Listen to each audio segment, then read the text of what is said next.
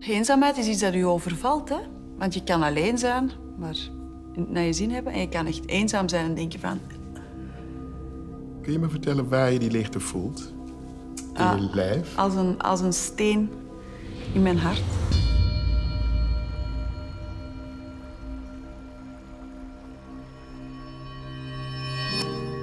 Mijn naam is Glenn Helberg en ik ben psychiater, psychotherapeut. Deze week ontmoet ik een tv-presentatrice en zangeres afkomstig uit de Vlaamse Kempen, die ondanks haar levensvreugde worstelt met somberheid. Maar je ziet er heel mooi uit. Kom je niet vaak tegen. Ja, mannen die zo mooi gekleed zijn. Heel mooi. Dit is Evie Hansen. Ring, ring, are you in? There's a party tonight. So she She's ready to become famous.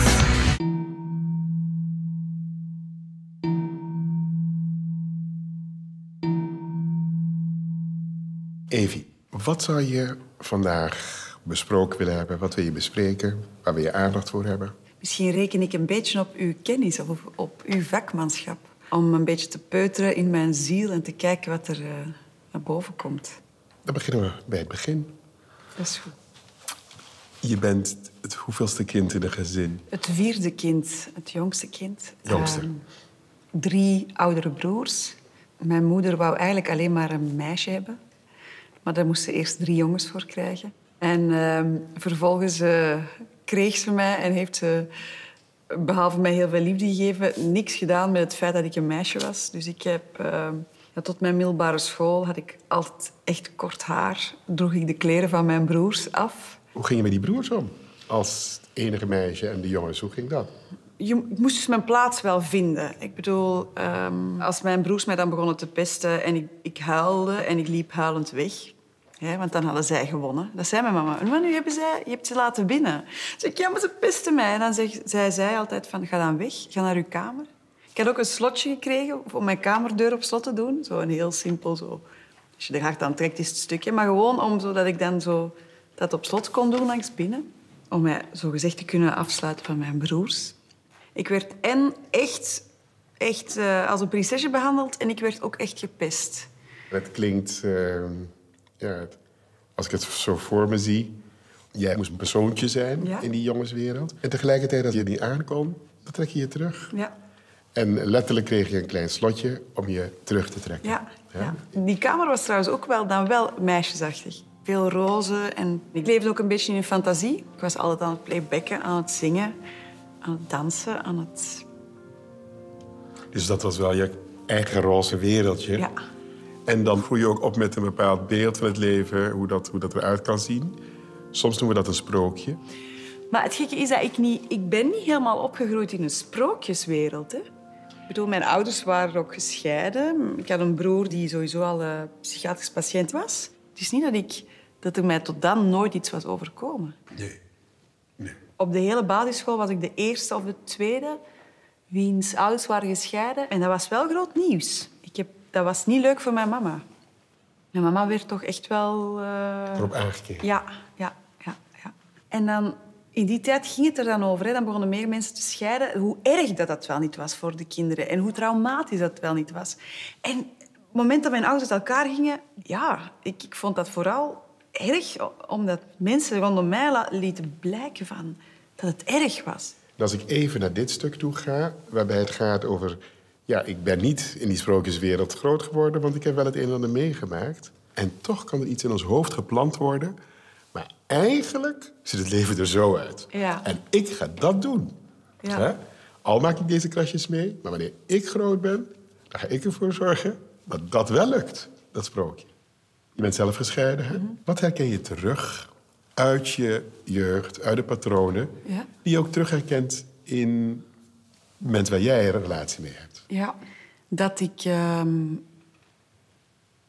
eh, hetzelfde be- beschermd ben als mijn moeder. Namelijk eh, dat ik, ik de touwtjes in handen wil hou- houden als het gaat over mijn kinderen, mijn opvoeding, mijn schip. En je mag daar wel als man even een tijdje op meevaren, of heel lang. Maar het is wel mijn schip. Natuurlijk, ik ben jong gescheiden. Ik was maar 33. Als je met iemand iets wilt opbouwen, moet je die toch wel iets meer laten doen dan laten meevaren op je schip. Maar dat kan ik niet uit handen geven.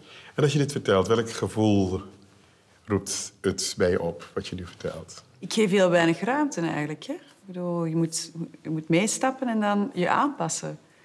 En laat ik nu net niet op mannen vallen die dat van nature in zich hebben. Wat hebben die mannen wel van nature waar jij op valt? Wel eh, heel erg eh, eh, zelfstandigheid. En wel heel erg, erg hun eigen leven ook op orde. En, eh, ik, ik merk dat in mijn ideale kamertje, mijn ideale wereldje nu, dat ik denk van, ah ja, ik wil gewoon iemand eigenlijk op afstand. Je wilt eigenlijk iemand naast je en dan dat je af en toe eens samen een stukje kan varen. Net zoals je zei, mijn moeder had haar wereldje. En jij zegt, eigenlijk doe ik ook zoiets. Ja. Hè? En daar moet dan een man bij passen. Ja, maar dus niet, hè. Ik bedoel, er passen geen mannen bij. Of, dus, dus, dus, dus is er geen man, hè. Hey Vie, als je dit nu vertelt. Dat is een keuze. Ja, en wat voel je als je dat vertelt? Ja, eh, heel erg een, een keuze, een, een bewuste keuze. Dat wil niet zeggen dat ik mij soms niet heel eenzaam voel. Ook. Die eenzaamheid, wat voor betekenis heeft dat in je leven? Eenzaamheid is iets dat u overvalt, hè. Ehm, want je kan alleen zijn, maar naar je zin hebben. En je kan echt eenzaam zijn en denken van... Ja, een leegte. En... En kun je, als je het over leegte hebt, kun je me vertellen waar je die leegte voelt? In Ah. je lijf? Als een, als een steen in mijn hart. Als een steen in je hart. Sinds die scheiding, zeg je, merk ik dat er iets is van eenzaamheid. Ja.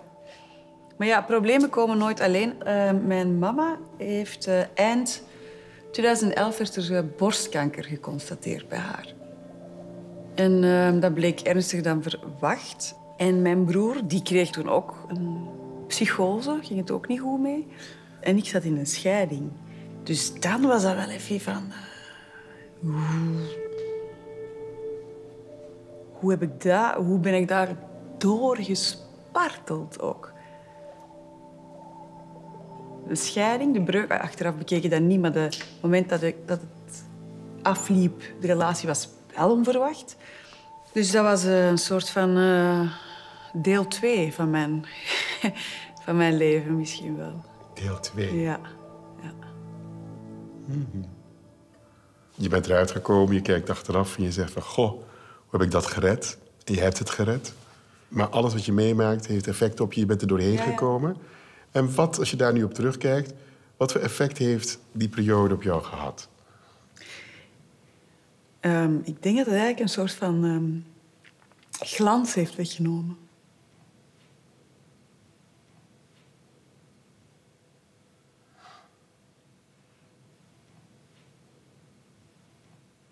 Ja.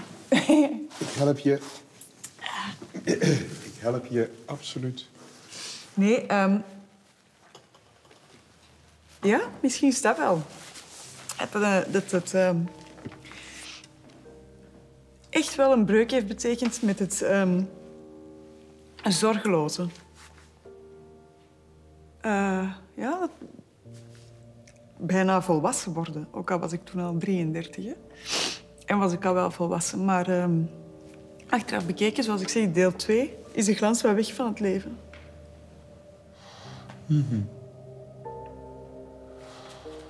Adem. Adem gewoon in. Ja. Ehm, het beeld van een huwelijk dat mislukt, terwijl dat ik in al mijn relaties altijd heb... eh, ben altijd, ook als ik jong was, hè, altijd heb gedacht van als ik ergens aan begin, dan is dat voor de rest van mijn leven. En hoewel dat ik wel het gevoel heb, of niet het gevoel, dat ik zeker weet dat ik alles in die relatie heb gestoken om het recht te trekken. ehm, en dat dat echt geen ehm, constructieve relatie was voor hem of voor mij. Nog steeds ben ik daar. Dat, dat valt dan natuurlijk wel weg. Ook. Dus dat is toch een, een naïviteit dat wegvalt. En dan is er een moment waarop we leren... niemand heeft ons beloofd aan het begin van het leven... dat we altijd gelukkig zouden zijn. Want ik weet inmiddels dat dat sprookje of die glans... al denk ik dat het er bestaat... dat ik toch moeite zou moeten doen om er iets moois van te maken. Ik denk dat dat achteraf bekeken dat dat het wel eh, is. En dan dat dat nog altijd nu ehm, blijft eh, nazinderen. Ja. ja. En hoe merk je dat, dat het nazindert? Omdat ik in het algemeen ehm, veel meer moeite moet doen om... eh, ik had dat vroeger ook al, hoor. Ik heb altijd moeite moeten doen om echt... Om, om gelukkig te zijn. Maar dat ik merk dat het... eh, als mensen mij ook vragen van hoe, hoe gaat het... Ik kan niet meer zo maar antwoorden van... Oh, het is keigoed. Dat, dat, dat, dat, dat die glans weg is, ja. Ja.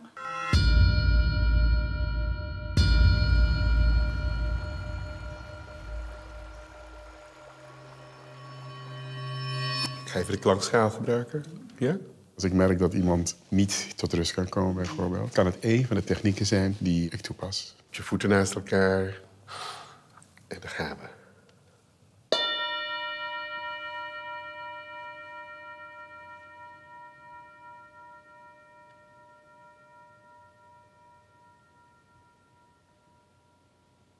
Als ik je even vraag om geen woorden tot je te laten komen, althans te verzinnen, maar even met je gedachten naar die plek te gaan waar je dat beschrijft. En misschien ook even je ogen dicht doet. En dat je gewoon rustig daar kijkt. Eerst rustig kijkt op die plek.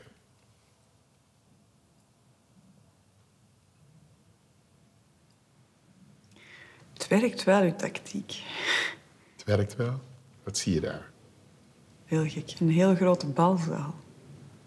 Een hele grote. Een lege balzaal. Een lege, zo'n marmeren zaal. Hè? Waar dat heel veel mooie feesten kunnen gegeven worden. Maar leeg, ja. Een balzaal. Er kunnen veel feesten gegeven worden. Het is mooi en leeg. En als je dat zo ervaart, wat voor effect heeft die realisatie daarvan op jou? Ja. Het is bijna zo cliché, hè? maar dat ik die deuren moet openzetten. Probeer die deuren dan open te zetten. Dan komt er heel veel volk binnen. Heel veel volk. Zo. ja. En wat? Die gaan dansen. Hè? Die gaat dansen. Ja. Oké, die gaat dansen.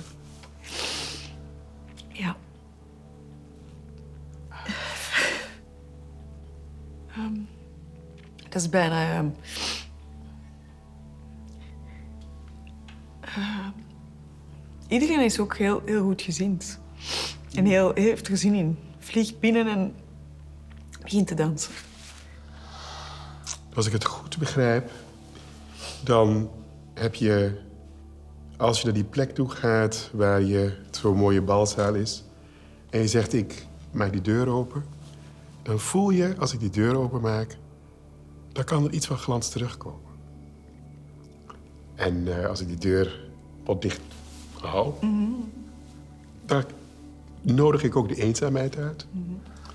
Maar als ik misschien de deuren openzet, dan kan er ook op een andere manier weer glans komen. Als ik de deuren openzet.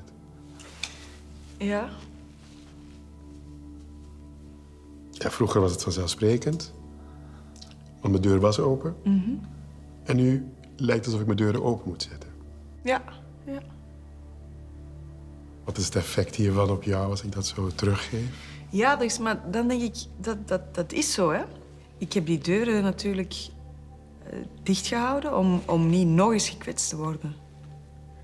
Ik kan de deur openzetten, Ja. maar dan zet ik ook de deur open voor gekwetst worden. Voor het einde van het feestje, ja. Einde van het feestje. ja. En wat ik, dat heb ik in mijn, mijn leven letterlijk... Eigenlijk ben ik, ga ik heel graag, nee, graag uit. Ik ga altijd graag dansen. En in de kroegen. Ik ben niet zo van de discotheken of zo, maar gezelschap. Veel mensen vroeger uitnodigen. Dat doe ik bijna niet meer. Omdat als ik ehm, ben uit geweest, als ik het nog eens doe... Dat is misschien twee keer of drie keer op een jaar. Vind ik het zo fijn. En dan ben ik ook oprecht gelukkig en dan wat drinken en dansen. En mij helemaal laten gaan. Eh, en, en dan voel ik mij de volgende dagen altijd zo slecht. Slecht. Ja, ja, Oh, ja. Ja, dat, alsof dat heel mijn dopamine, of wat is dat, of serotine, is opgebruikt. En dan, ja... En dat wordt erger en erger. Nu, nu gaat het soms al als ik naar een, eh, mijn, mijn vriendinnen naar een etentje. En ik kom om half twee thuis en wat wijntjes op, maar heel tof gebabbeld. En dat ik dan al de volgende dag... Snap jij deze beweging? Ik denk dat dat heel veel te maken heeft met het besef van die moeilijke periode in mijn leven. Dat afscheid nemen van die jeugd eigenlijk, hè, van die naïviteit, van, de, van die glans. Dat dit er een rechtstreeks gevolg van is. Ja, besef ik jou hoe. Ja? Schaam je? Ja? Zo. Ja? Waarom schaam je je? Ja? Vertel eens waarom je schaamt. Haal de zakdoeken maar al boven. Ja, dat weet ik dus niet, hè. Waarom ik mij schaam. Ehm, Dan zit je hier Ja. en dan praat je met iemand die alleen maar probeert te spiegelen. ja, ja. En dan zie je jezelf in die spiegel en dan schaam je je opeens. Want je denkt, dat had ik toch eigenlijk dan misschien al moeten hebben kunnen oplossen. En misschien is het soms zo in het leven dat je voor sommige dingen toch gewoon een beetje hulp nodig hebt. En ehm, hoe kun je afscheid nemen en een nieuw beeld downloaden? Hè? Dat transities zijn, dat dingen gebeuren, dat het pijn doet, dat je het gevoel ervaart dat erbij hoort. En dat je nu de stap gaat maken naar een nieuw beeld. Dat als het fijn is, het ook gewoon fijn is. ja. En de volgende dag Ook fijn is. ook fijn is. Ja. Ik vind het ook fijn met jou, als jij dat oké vindt, dat we dan even kijken naar de gedachten die bij je opkomen. Als je dan eerst genoten hebt en de volgende dag het al begint, of al een paar uur daarna begint, welke gedachten zijn daar dan allemaal? Misschien wel de, dat ik op dat moment dat onbezonnene terugvind dat ik ervoor had, hè, deel 1 in mijn leven. En dat dat dan een soort van... dat dat niet mag of niet kan. Elke gedachte die we hebben, in milliseconden kan het een gevoel creëren. Dus als je heel veel negatieve gedachten creëert, heel veel oordeel creëert, kan het heel snel naar dat gebied gaan waar je je niet goed voelt. Ja. En dan gaan die gedachten, het mentale beeld plus de gedachten zorgen er dan voor dat je dan inderdaad die, bzzt, die Ja. somberheid ingaat. Waar kun je ongeveer terug in de tijd waar je zegt van hé, hey, daar heb ik eigenlijk, ben ik die weg opgegaan. Ik denk, eh, ik denk, denk, ik weet zeker van dat dat is na mijn scheiding is gekomen. Dat ben ik, ja, dat weet ik. Je scheiding is voor jou een belangrijk keerpunt in je leven geweest. Ja, Er is veel daar gebeurd, ja, veel verandering plaatsgevonden. ja. En daarbinnen heb je bepaalde conclusies. Ik denk dat ik na mijn scheiding ook echt... ehm, en dat was nodig, hè, om echt te kiezen voor mezelf. Alleen voor mezelf en voor mijn kinderen. Ik zei altijd, mijn, mijn scheiding was geen keuze. Dat was iets dat moest gebeuren. En misschien is die verantwoordelijkheid dat ik, die dat ik toen heb genomen van wel een, een zware stap te zetten met twee kleine kinderen, dat dat niet mag beloond worden.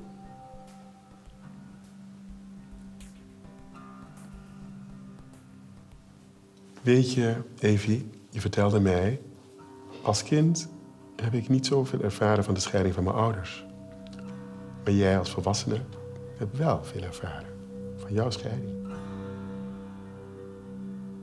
Het heeft wel wat veranderd. Ja, ja zeker. Probeer te voelen. Ik heb toen die conclusie getrokken. Hè? En misschien is het bijna de vraag... hoe terecht is het eigenlijk dat ik die conclusie heb getrokken? Zeer terecht. Om te scheiden. Ja. Als jij dan thuiskomt, dan heb ik niet begrepen dat je zegt... die anderen zullen zo over mij denken. Ik hoorde jou vragen, wat heb ik fout gedaan? Na zo'n heerlijk moment van genieten.